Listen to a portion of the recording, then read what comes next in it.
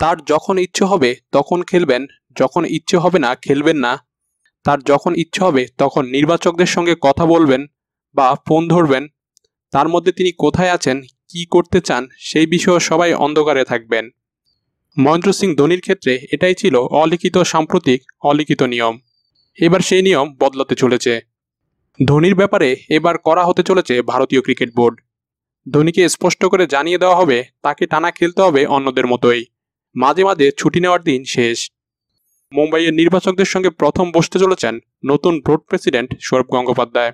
বাংলাদেশের বিরুদ্ধে T twenty সিরিজের টিম নির্বাচন হবে সেখানে। সবাই থাকবেন ভারতীয় অধিনায়ক বিরাট কোহলিও। ধোনি অবশ্যই সেই সবার অন্যতম গুরুত্বপূর্ণ আলোচিত বিষয়।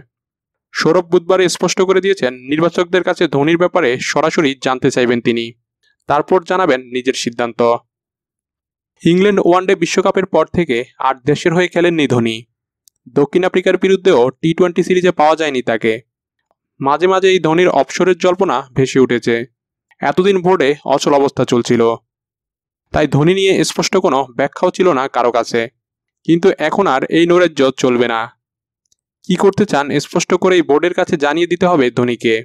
তারপর এই বোর্ড ধোনির ব্যাপারে সিদ্ধান্ত নিয়ে নেবে।